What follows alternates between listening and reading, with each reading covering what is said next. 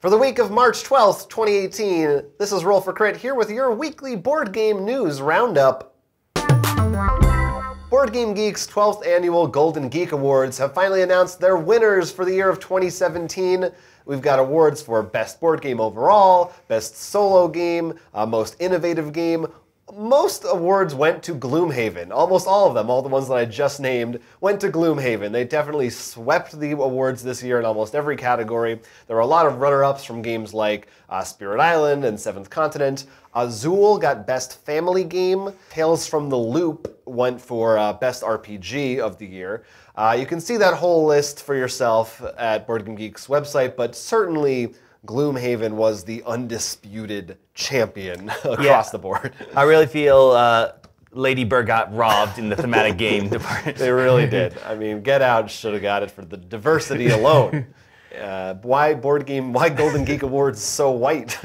no, I'm sorry, but Gloomhaven, uh, another again a game that famously uh, we did not play, and it was not on our top ten lists because of that. So uh, it's hard for us to, to comment, but clearly the people have spoken. Clearly, they really love this game. I mean, yeah. Oh, at the time we made our top ten lists, we didn't even delve into it too much because we just never had the time and chance to. So, but I mean, it's a, that, I feel like it sort of happens a lot in these Golden Geek Awards. Tends that one game tends to, if it's a like for example, this is a thematic game that could also be a solo game, and it could also be a cooperative game. If it's in those categories and wins best game, it's probably pretty likely going to win those as well. Yeah, uh, we're working on playing it very, very soon to get some videos up for about Gloomhaven for you guys. But I, you know, as people who loved Seventh Continent, I'm curious to see if I will if I will feel the same way because I feel like Seventh Continent didn't get enough love in these awards. I don't know, but again, you can go see them for yourself and make your own decisions. Pathfinder has announced it's coming out with a new 2.0 edition which is the first actual edition change to Pathfinder ever. Uh, this will be being playtested online starting in August, as well as some physical locations, and of course, Gen Con. Uh, you can probably guess what 2.0 would bring. Some of them pretty obvious, some balancing changes. Uh, some of the classes that were in expansions are will be part of the core, as well as adding goblins, which have been pretty mascot, I feel, in the Pathfinder series. People like those goblins. Right. uh, as a, one of the races you can play as. However, combat seems to be getting a whole big change involving like three new actions with a lot of different spells and stuff. Yeah, the, the, you're going to be able to. There used to be an old Pathfinder like all these different types of actions, mm-hmm. which is sort of like uh, coming from D and D. I think similar how there's you know there's bonus actions and and things like that that take place, and they're they're really simplifying it. It sounds like to just be everything's just an action, and you so you can even attack twice in the same turn potentially, uh, which is pretty cool. Uh, but they did say that like subsequent attacks would get some kind of a hit to them, like they wouldn't be as powerful. But I really like that idea. Again, we haven't uh, played uh, original Pathfinder. No, we actually, if you look on our set, we because uh, they're mostly my books, but Uh, we just got the core Pathfinder. I mean, we, we got Starfinder, which that's the one I'm working on right now, learning to play and stuff. Yeah, but I know that that's the area in D and D that is usually the messiest and most slows down the game, at least in my in our experience, is combat. So anything to simplify that and to make those actions more exciting more engaging, that's great. Well, what's interesting to me is, as I said, this is their first edition you know, right. if second edition. I mean, their first their first time doing a new edition. Uh-huh. Sorry. Uh, yeah. So second edition. They have a lot of books out. Like, I mean, you've seen them all. They like, certainly do. Ultimate Intrigue, Ultimate Combat, Item. I mean, and I'm wondering, like, are those all going to be need be converted into the second edition? Uh, like I said, we haven't played it, and I've heard some people say, like, do we really need a new edition? I don't know how pe- people are attached to the co- old combat system compared to the new.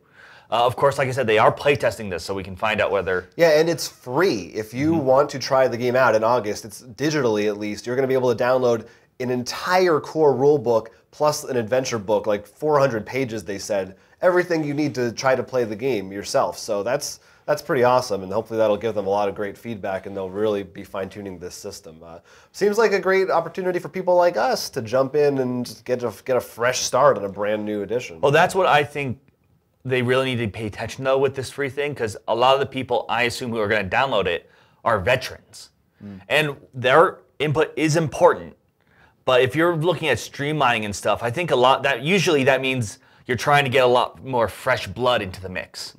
And in order to do that, you really need to make sure whether the people downloading can be like, all right, I'm going to take this and play with some friends who I know don't play RPGs, or if you can maybe uh, find a way to talk, like email some people who you know like maybe you ask some people like in the video game community be like hey test this out if you don't play rpgs or something. Yeah, yeah. that's what i would really hope that they get a mixture of both the veteran and new player base on this.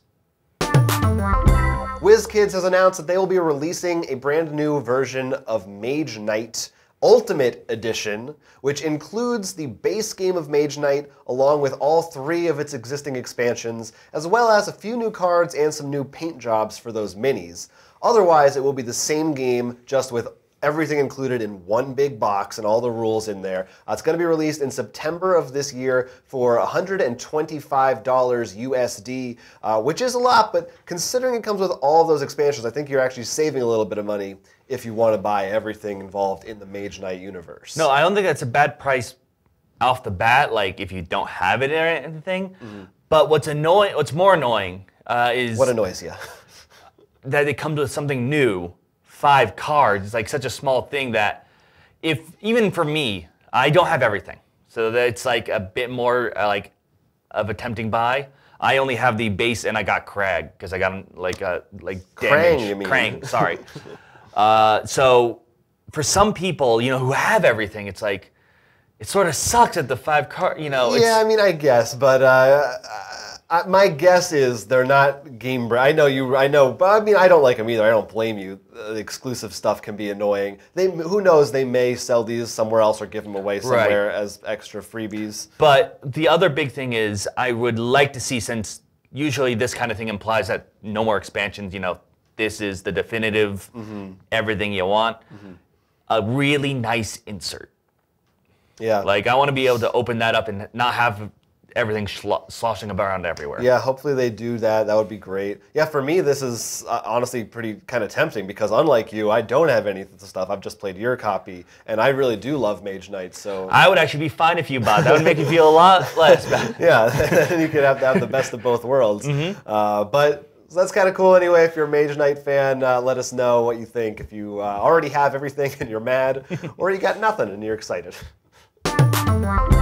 In a previous video, we talked about the Harry Potter miniature adventure game, which was going to be coming to Kickstarter from Knight Models. They've actually decided now to not go to Kickstarter, instead just do pre-orders off their website. Uh, you can visit their website, Nightly Models, and you can get the core for $100, or add on other expansions, and I believe everything should total around $370 for everything.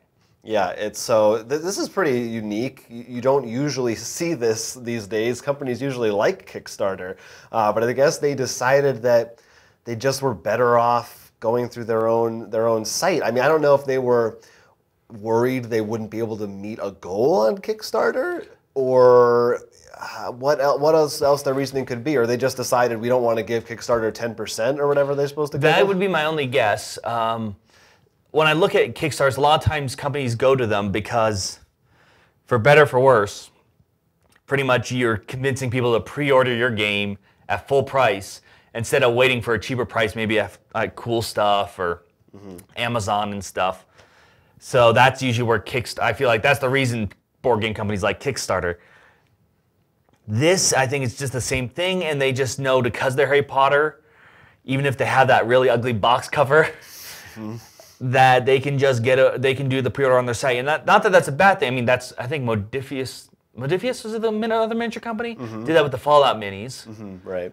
and I mean, it sort of makes sense, and maybe you can even it's easy to update and change stuff if you want to be like, where you've made a new expansion or something. Yeah, yeah. I mean, I guess if they have the resources and the distribution models in place, why not do it Plus, you don't have to be like, because uh, the other big thing though with Kickstarter is people, because the way Kickstarter works, it's usually you know people who don't have the money to make these games. They'll be like, if you buy this here, we're gonna throw in these stretch goals and you get more stuff. But like we've seen com- bigger companies, what they do is you have to pay an extra fifty dollars to get all the add-on or stretch goals and stuff. Right, right. So why? Do, they don't even have to do that now. they don't even It's just have to. the expansions are there. Yeah, well, if you're a Harry Potter fan, those are uh, going to be for sale in just a couple days after this video is launched. So check it out.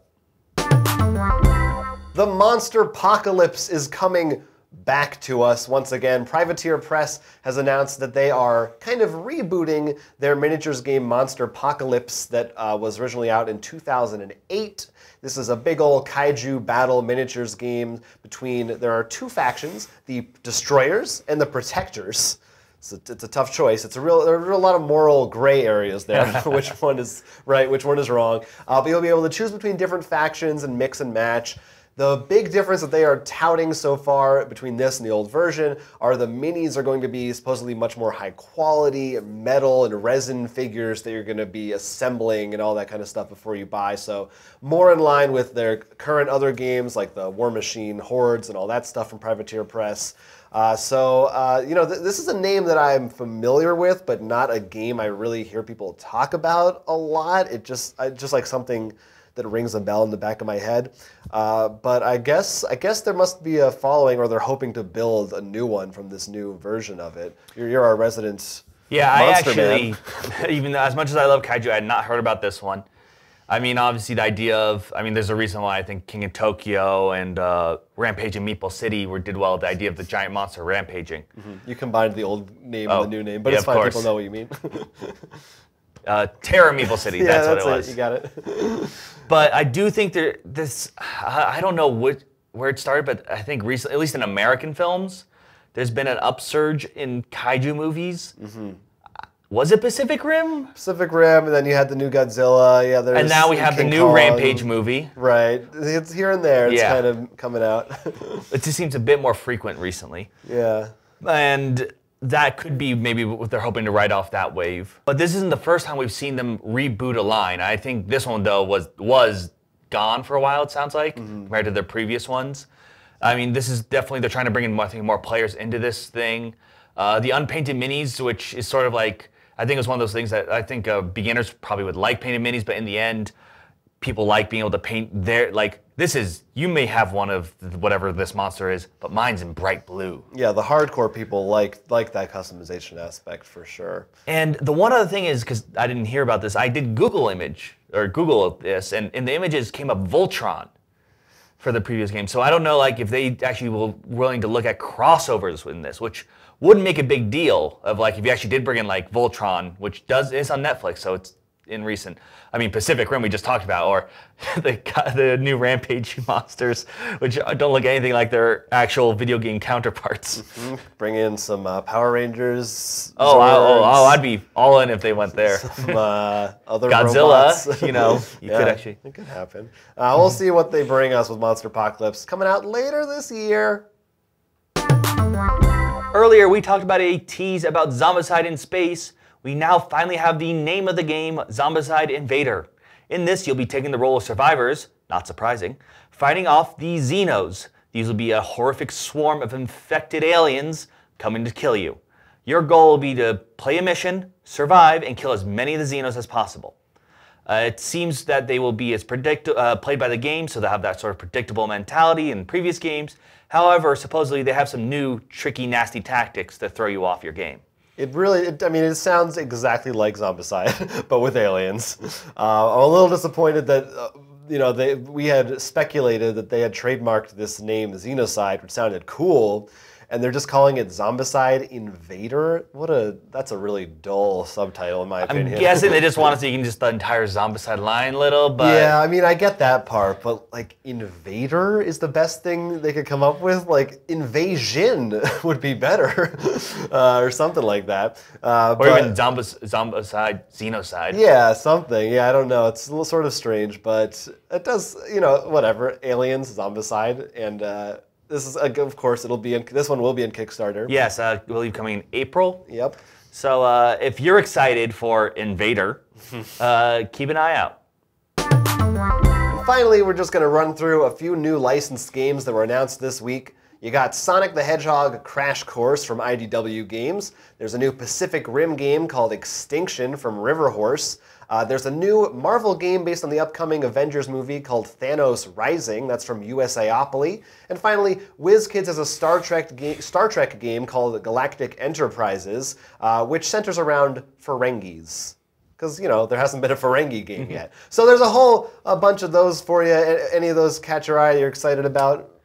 I mean, I need to see the Pacific Rim movie first before I get excited about that. Well, I can tell you, you could already be a little worried because um, I know River Horse also did the uh, Labyrinth and Dark Crystal games, which we haven't played, but I've heard are not particularly well received. So doesn't inspire yeah, too much I, confidence. uh, I read the description of the, the game and I wasn't wowed. Uh, it's it's Jaegers v Kaiju's, right? And they're- Yeah, and- they're fighting. uh, the Sonic game I found very interesting because it's a racing game, and this is less than a month after we had another Sonic racing game on Kickstarter from a different company. I was a little confused. I'm like, wait, didn't we already talk about that? Yeah, two different Sonic games. This one though looks like more the classic art style, Mm-hmm. but I mean, Apparently, Sonic is finally like, we can't make video games anymore. We're going to the board games. Yeah, and uh, the Ferengi game just sounds really funny. You're actually, it takes place in Deep Space Nine, and you're trying to be the best capitalist. You're selling and trading goods at the market, and you can like kind of make alliances with people a little bit here and there. But you're Ferengis, which sounds kind of funny. Uh, so those all come out at various points in 2018. Have fun with them. So that's our news roundup for March 12th, 2018. Uh, we hope you enjoyed our stories. If you have any interesting comments, don't forget to leave them down below. Until next time, I'm Will Keeler. I'm Jonathan Estes. Let's roll for crit. Don't forget to like and subscribe and leave some comments down below. yeah.